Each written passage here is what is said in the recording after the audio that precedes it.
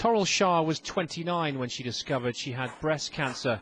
Her mother had been diagnosed with the same disease just six years earlier.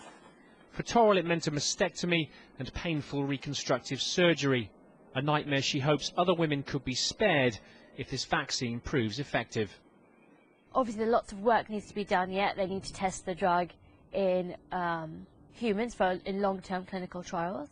But there is a potential that, given that one in nine at the moment, or coming up to almost one in eight women will be diagnosed with breast cancer at the current rate, it means that so many women will be spared the, the treatment of breast cancer and the surgery, which is really quite um, horrific. The drug's being developed in the US. So far, it's only been tested on mice. But scientists say the results of a single dose have been overwhelmingly favourable in both preventing cancer and shrinking existing tumours. The model here is polio and measles and smallpox.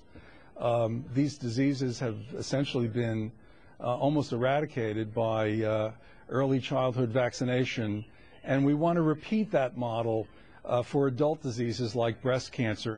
In theory, women would be given the vaccine alongside another drug, a so-called adjuvant, to boost their immune response. The vaccine makes the body attack a protein called alpha-lactalbumin, which is found in most breast cancer cells. The problem is it's also found in the mammary tissue of breastfeeding women. As a result, the vaccine would be aimed at women over 40, the age when cancer risk rises and pregnancy rates fall. Scientists say younger women could also be offered the drug as an alternative to surgery. In Britain, breast cancer kills 12,000 women every year.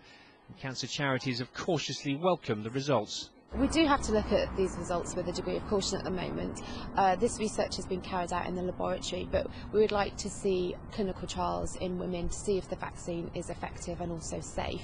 And these trials can take many years and have to go through many stages, so we are still quite a long way off. Human trials could begin in 2011. Toril's now been cancer-free for four years.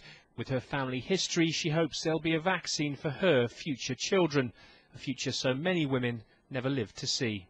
Simon Newton, Sky News.